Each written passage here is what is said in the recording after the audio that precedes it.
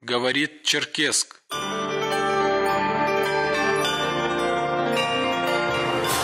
В эфире Вести, радио Карачаево-Черкесия.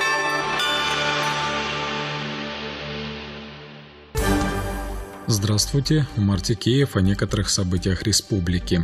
Сегодня в выпуске. Еще 50 придомовых территорий республиканской столицы будут благоустроены в ближайшие два года. Регион вошел в топ-5 лучших команд страны по разработке проектов и стратегий в сфере туризма. В Карачаево-Черкесии пройдет форум информационных технологий в креативных индустриях «Креатив». И в картинной галерее Черкеска проходит выставка работ местных художников «Память», посвященная депортации карачаевского народа. Далее об этих и других темах подробнее. В Москве проходит третий Всероссийский форум «Народы России», который является одним из ключевых ежегодных мероприятий в области национальной политики в стране. Нашу республику представляют заместитель председателя правительства региона Дженебек Суюнов и министр по делам национальностей, массовым коммуникациям и печати Альберт Кумуков. Участники мероприятия обсуждают пути решения актуальных задач государственной национальной политики, повышения эффективности и профессиональных компетенций государственных служащих, муниципальных служащих и представителей общественных организаций в сфере межнациональных отношений, а также формирования деловых коммуникаций между участниками. По результатам Всероссийского конкурса «Регион для молодых», инициатором которого стало Федеральное агентство «Росмолодежь», 42 субъекта России получат субсидии на развитие молодежной политики. В числе победителей наш регион. Подробности сообщил министр по делам молодежи Ибрагим Татаркулов. Федеральным агентством по делам молодежи был организован и проведен конкурс для комплексного развития молодежной политики в Российской Федерации «Регион для молодых», который со своей стороны позволит создать систему непрерывного сопровождения и поддержки молодых людей – по итогам данного конкурса Карачаево-Черкесская республика вошла в число победителей и выиграла субсидию в размере 57,2 миллионов рублей, что со своей стороны позволит сделать существенный вклад в дальнейшее эффективное развитие молодежной политики в Карачаево-Черкесии и даст новые возможности для молодежи. В 2023 году на территории субъекта планируется открытие молодежного центра, в рамках которого будут реализованы актуальные для для ребят мероприятия и площадки. Данное молодежное пространство планирует создать корпоративный университет, который включит в себя Центр обучения в сфере легкой промышленности, который является актуальным для Карачаево-Черкесской республики, Центр подготовки специалистов в сфере туризма, это гиды, экскурсоводы, инструкторы, что также в свою очередь не менее актуально для субъекта, чем первое направление деятельности Центра.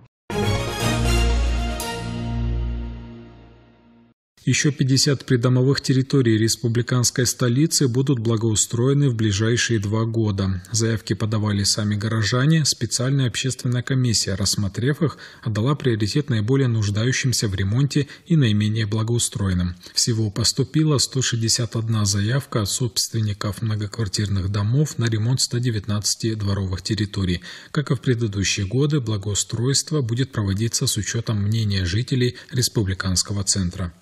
За последние шесть лет в Черкеске по программе капитального ремонта заменили 120 лифтов, в том числе более 20 в этом году. На данный момент новое оборудование установлено в 44 многоквартирных домах. Об улучшении качества жизни горожан и некоторых проблемах, которые возникают при эксплуатации оборудования, рассказала ведущий инспектор управления ЖКХ мэрии города Черкеска Елена Димитровская. В тестовом режиме э, лифты были пущены еще в августе, и люди уже могли пользоваться. Да, от жителей многоквартирных домов поступают нарекания по поводу частых остановок лифтов, отключений. Хочу в этой связи обратить внимание жителей на то, что лифты еще работают в тестовом режиме. Происходит еще до сих пор их обкатка, наладка, регулировка. Целом э, лифты слабошумные, кабины светлые, комфортные, в них установлены антивандальные кнопки. И вот в этой связи особый гнев и возмущение вызывает то, что не успели пустить лифты в работу. Что мы видим? Кабины поцарапаны, электронное табло поцарапаны, э, кнопки вырваны. И э, печально, что это не приходят делать жители соседних домов. Это делают свои же жители вот этих многоквартирных домов. Карачаево-Черкесии пройдет форум информационных технологий в креативных индустриях «Креатив». Мероприятие стартует 4 ноября. В рамках форума планируется встречи с IT-разработчиками и другими представителями креативных индустрий. Основные направления, по которым пройдут мастер-классы – цифровая грамотность, креативное мышление и креативная экономика. Шесть новых пляжных зон появятся в Карачаево-Черкесии. Полностью обустроенные пляжи появятся в поселке Нижний Архыз, ауле Нижняя Тиберда, у Софийской поляны и у озера Каракель. Все это благодаря победе нашего региона в грантовом конкурсе правительства страны и получению финансовой поддержки на развитие туристической отрасли от федерального центра в размере 342 миллионов рублей. Об этом рассказал министр туризма и курортов Расул Тикеев. Это становится актуальным ввиду востребованности данной услуги не сезон, потому что есть востребованность среди жителей и гостей региона. Но так как все равно эта услуга, она пользовалась спросом, э, люди купались в водоемах, в реках, и даже несмотря на то, что они не были обустроены. На сегодняшний день, благодаря этой поддержке, пляжи будут обустроены и безопасными с точки зрения нахождения, комфортными, потому что эти пляжи будут обустроены в соответствии с ГОСТом, ГОСТ услуги пляжей. По итогам Всероссийского конкурса государственного управления, разработки и реализации туристических проектов и стратегий в регионах страны, Карачаево-Черкесия вошла в пятерку в номинации «Лучшая команда по разработке туристического маршрута». На конкурс было подано 123 проекта из 62 регионов страны. Общее количество участников составило 1400 человек. Прошедшие финал участники получат возможность пройти образовательную программу «Школа стратегов», а также попасть в базу данных Национального кадрового агентства. В Учкекене Малокарачаевского района продолжается строительство школы, рассчитанной на 960 мест. Представители регионального правительства ознакомились с ходом строительных работ. Новое образовательное учреждение распахнет свои двери в следующем году. Это будет одна из самых больших школ Карачаева-Черкесии. Ее площадь составит более 16 тысяч квадратных метров. Гости ознакомились и с результатами капитального ремонта в школе номер один села Учке-Кен, который проводился в рамках госпрограммы «Модернизация школьных систем». Еще один объект, который посетили члены правительства республики – Первомайский аграрный колледж, на площадке которого ведется подготовка специалистов медицинского профиля. Очередная партия гуманитарного груза, направленная из Карачаева-Черкесии военнослужащим участникам специальной военной операции на Украине. Десятки наименований продовольственных и непродовольственных товаров отправили землякам. Подробности сообщила руководитель волонтерского штаба «Мы вместе» в Карачаево-Черкесии Ася Хакирова. В социальных сетях мы такой клич кинули, что мы собираем помощь для наших мобилизованных. Понятно, что сейчас близится время к зиме, то есть это средства личной гигиены, теплая одежда, носки, балаклавы, нательное белье, термобелье. У нас есть э, люди, которые самостоятельно откликнулись, э, как физические лица приняли участие в этой акции, так и бизнес-сообщество подключилось. Это некоммерческие организации, естественно, органы власти оказали нам поддержку. И мы будем собирать все и отправлять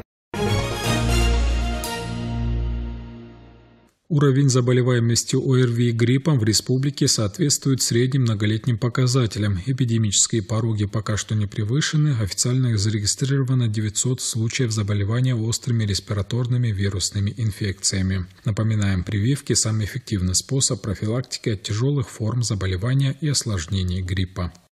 За 9 месяцев текущего года в банковской системе Карачаева-Черкесии обнаружили и передали правоохранительным органам 6 банкнот с признаками подделки, 3 пятитысячные, 1 двухтысячную и 2 купюры номиналом 500 евро. О том, как проверить банкноту на подлинность, расскажет начальник отдела наличного денежного обращения и кассовых операций отделения Банка России по Карачаево-Черкесии Ольга Щекланова. Оценить подлинность российских денег можно самостоятельно, без использования специальных приборов.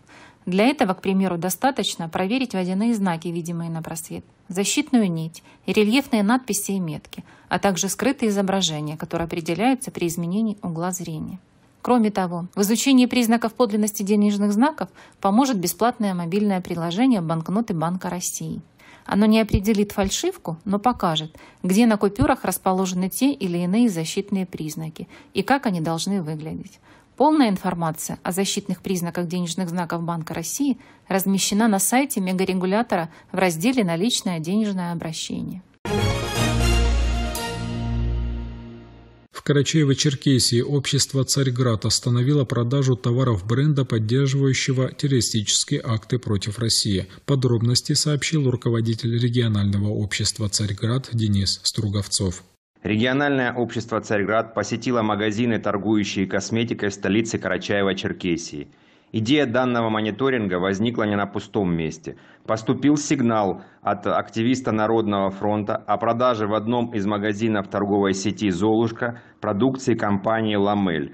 Напомним, что скандальная реклама в рамках акции этого бренда в день теракта на Крымском мосту вызвала негодование граждан, так как руководство компании пиарится и восторгается террористическими актами в отношении России – у людей есть основания считать, что бренд не должен зарабатывать на российском рынке, ибо средства могут пойти на поддержку Украины. Общественники проверили сетевые и частные магазины Черкеска и удостоверились, что продукция бренда действительно находится на полках магазинов. Мы обратились к руководству магазина с просьбой убрать продукцию с полок и прекратить продажу этой компании. Результат был незамедлительным. Продукцию убрали не только в магазине Черкеска, но и во всей сети. Это ни много ни мало 44 точки. В картинной галерее «Черкесск» открылась выставка работ местных художников «Память», посвященная депортации карачаевского народа. Представленные полотна выполнены художниками, которые сами были свидетелями тех страшных лихолетий и на себе испытали все тяготы депортации. Среди работ картины известного собирателя истории репрессированных народов в период их жизни в Средней Азии и Казахстана Мусы Абайханова. Он посещал места ссылки, изучал архивные данные. Кроме того, здесь представлены выполненные в авангардном стиле портреты политических деятелей тех времен Сталина, Суслова, Берии из цикла «Монстры человечества». Выставка продлится до 15 ноября. Как мы уже сообщали, курорт Архыз появится на почтовых марках России. Первые экземпляры с изображением всесезонного туристско-рекреационного комплекса будут представлены широкой аудитории уже в этом месяце. Общий тираж знаков составит более 100 тысяч единиц. Приобрести их можно будет в почтовых отделениях страны. Создание марок с изображением курорт Архыз поставит начало уникальной серии почтовых знаков курорты Северного Кавказа. Радио России. Карачаево-Черкесия. Погода.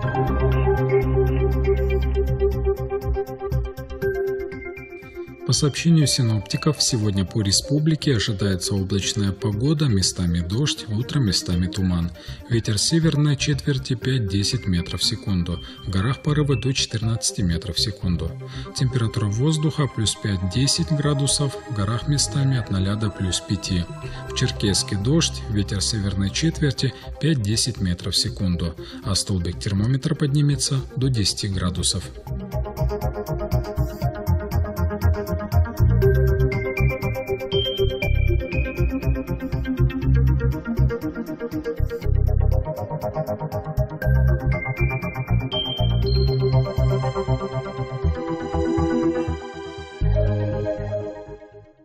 Это все новости к этому часу. С ними вас знакомил Умар Тикиев. Берегите себя и своих близких. Всего доброго.